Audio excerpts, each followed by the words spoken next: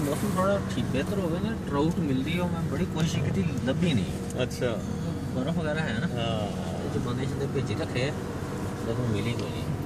ਔਰ ਹੈ ਵੀ ਐਸੇ 'ਚ ਹੀ ਮਹਲ। ਹਾਂਜੀ ਟਰਾਊਟ ਸਵਾਦ ਵਿੱਚ ਹੈ ਜਾਂ। ਤਕਰੀਬਨ ਠੰਡੇ ਪਾਣੀ ਦੀ ਠੰਡਾ ਤੇ ਸਾਫ਼ ਪਾਣੀ। ਬਿਲਕੁਲ। ਉਹਦੀ ਹੈ ਮਛਲੀ ਮੈਂ ਤੇ ਲੱਭ ਜਾਵੇ ਤੇ। ਦੋ ਦਿਨ ਲੱਗੇ ਤੇ ਨਹੀਂ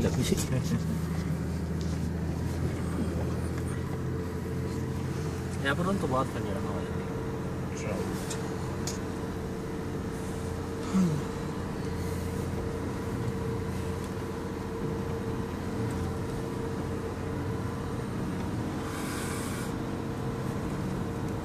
गाड़ी कहता तीन चार आ रही है नीचे से ਉਸ ਅੱਗੋਂ ਆ ਜਾਵੇ ਪਰ ਉਹ